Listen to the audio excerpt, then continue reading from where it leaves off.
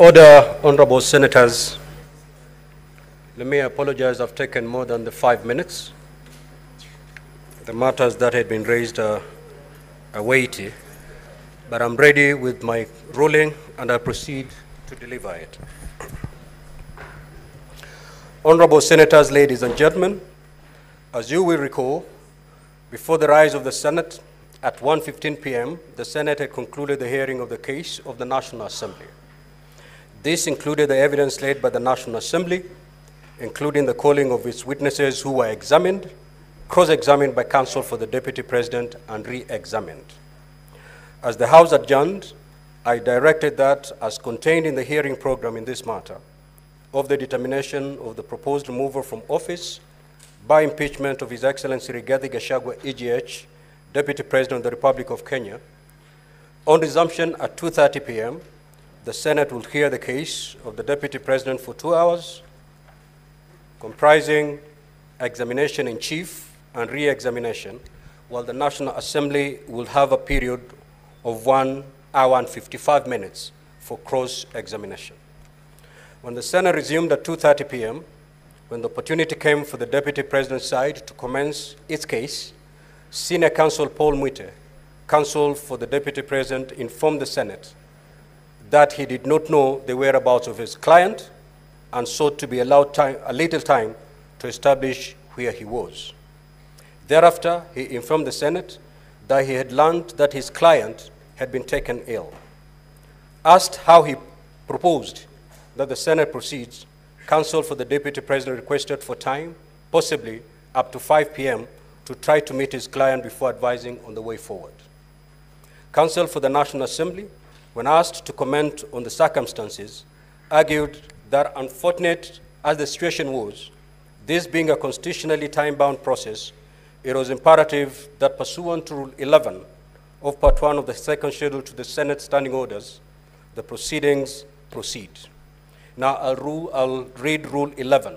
It provides thus, where the National Assembly or, or the Deputy President chooses not to appear before the Senate, that fact shall be put on record, and the Senate shall proceed with its investigations without further reference to the National Assembly or the Deputy President. But the Senate may, for exceptional reasons to be recorded, permit a later appearance before the Senate by the National Assembly or the Deputy President. Now, honorable senators, it is also noteworthy that Rule 12 provides as follows. Subject to these rules, the hearing of the evidence, once it commences shall proceed and continue until the Senate conclude the hearing of the matter. Following the representation made by counsel for the parties, I suspended the proceedings of the Senate up to 5 p.m. to allow counsel for the Deputy President to report the status of his client. When the sitting of the Senate resumed at 5 p.m., Senior Counsel Paul Muite informed the Senate that indeed he had contacted doctors at Karen Hospital who were attending to the Deputy President. He further stated that owing to the condition of the deputy president, he had not been able to access the deputy president or talk to him. Senior counsel then proceeded to cite Article 145.6, observing that although the Senate had opted to proceed by way of hearing the matter in plenary, and while Article 145.6 provides for the hearing of the matter by way of special committee, the provision obligates the Senate to accord the deputy president an opportunity to be heard before a vote is taken on the impeachment charges. He further cited Rule 11 of Part 1 of the schedule to the, of the second schedule to the Senate standing orders, stating that in accordance with the provisions, the Deputy President had chosen to appear and be presented in these proceedings. Counsel for the Deputy President further submitted that the right of the Deputy President to be given an opportunity to be heard under Article 145.6b of the Constitution is not limited by the 10-day timeline otherwise provided for in this matter. In the end, relying on these provisions, Counsel for the Deputy President requested that the Senate adjourns the matter to Tuesday, the 22nd of October 2024, to enable his client time to attend to, to be attended to by his doctors. In response, Counsel for the National Assembly, Mr. Gumbo, registered his sympathies to the Deputy President, On the other hand, he noted that the health matters are matters that are beyond human control. However, he noted that the matter at hand was one that was governed by constitutional timelines. Counsel further indicated that Article 145.6 of the Constitution applied to impeachment proceedings in committee and was not therefore relevant to the, uh, to the present proceedings which had been convened by dint of Article 145.3 of the Constitution. Counsel observed that the dates for the hearing had, by Gazette notice, been set at 16th and 17th of October 2024. Counsel therefore went ahead to observe that His Excellency the Deputy President had robustly participated in the proceedings by filing detailed responses to the allegations as set out by the National Assembly and through various submissions made in the course of the hearing, including cross-examination of witnesses. Counsel then indicated that if any prejudice was to be suffered by the failure of the Deputy President to testify and be cross-examined, this will be on the part of the National Assembly, which had the legitimate expectation of testing the evidence of the Deputy President through cross-examination. Counsel then referred to the practice in the courts, including the Supreme Court, where parties are allowed to file respective submissions, and the advocates are then allowed to appear and highlight their submissions.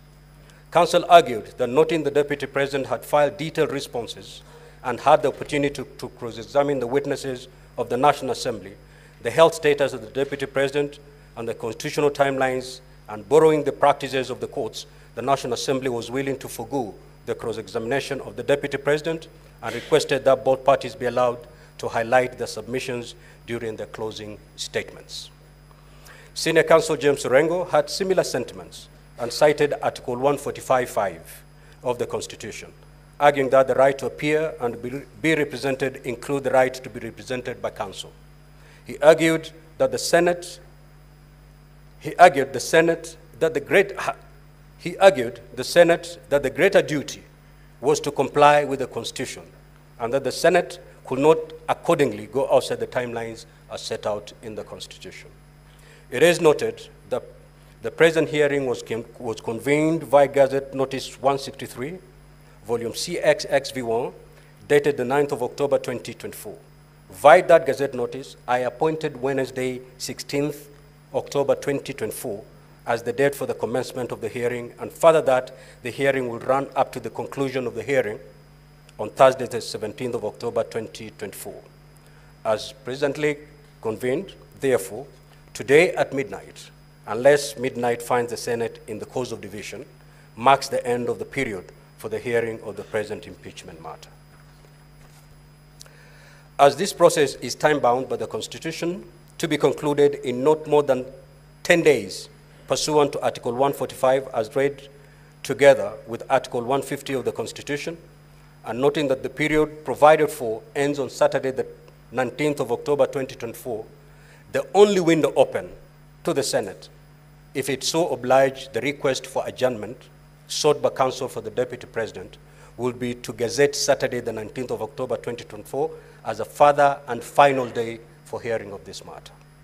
Now, honorable senators, ladies and gentlemen, such a request is not made to the Speaker, but to the Senate, and is accordingly a matter for the Senate to determine. To facilitate this decision, I direct the clerk of the Senate to circulate a supplementary order paper incorporating a notice of motion and a motion for adjournment sought.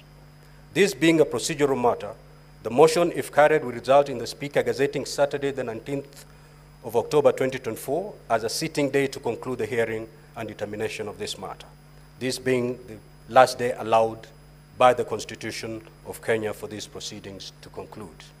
Needless to say, if the motion is not carried, the decision of the Senate will be that this hearing continues to conclusion in the matter, in the matter, in the manner provided for under Rule 12. In such event, the hearing will continue as set out in the program, with the parties moving to make their closing statements. Now, honorable senators, ladies and gentlemen, in conclusion, let me take this opportunity on my own behalf and on behalf of the Senate to convey our sincere sympathies and best wishes for quick recovery to His Excellency Rigathi Gachagua, AGH, the Deputy President of the Republic of Kenya.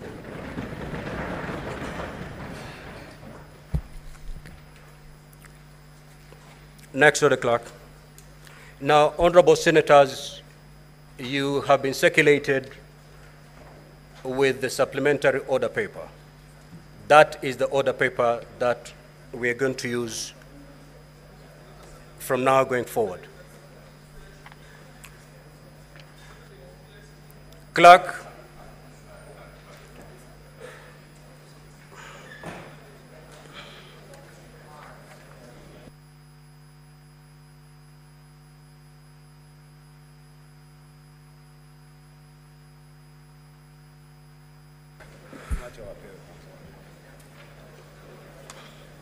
Now, honorable senators, this being a procedural motion, you need, need, you don't need to give notice. So when the order is read out, the majority leader will be called upon to move.